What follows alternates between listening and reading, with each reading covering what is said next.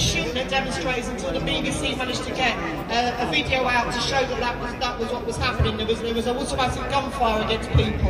And I think that, um, that, that's, uh, that, that, that's part of, uh, part of Modi um, getting, getting his own way, making sure that no one's opposing him.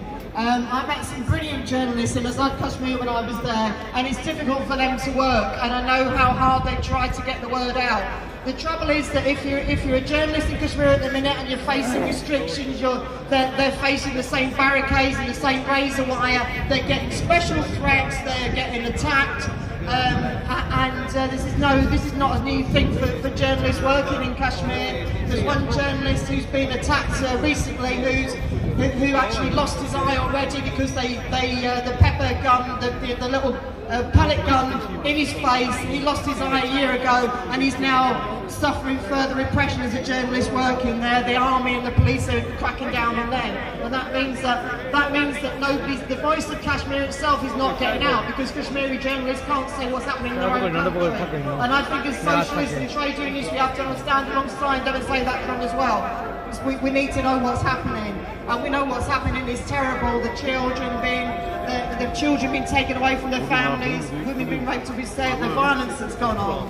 Um, and uh, I, I, think that uh, you know that if you're in Serin, if you're working in Srinagar at the moment, you've got four government organised computers that you can work on, and a government standing uh, official standing next to you. So there's no way that that, uh, that Kashmiri journalists can say what's happening in their own country. And I think it's really important that anybody can get the word out um, through social media. It's really important to do that because there's a massive gap and it means that, the, that is, uh, what Modi says is what is, is, uh, is, is, is being told internationally.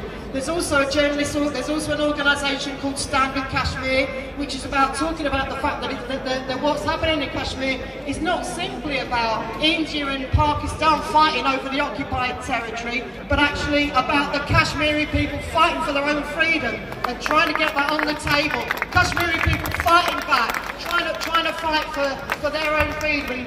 You know, I fully fully back the idea that they that, that, Kashmiri people decide who runs their country, not anybody else.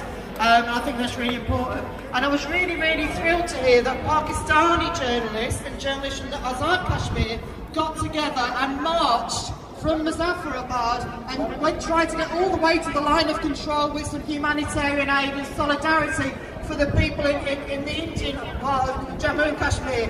They, they, they, were stopped, they didn't get as far as they wanted to, they didn't get to the LOC, but I thought it was a brilliant humanitarian gesture and I think we should you know, be really proud that they did that from the other side of Kashmir and stop this nonsense about people being divided. But I just want to say, freedom for Kashmir, let's fight back for them, they need our help, they need our support. Thank you.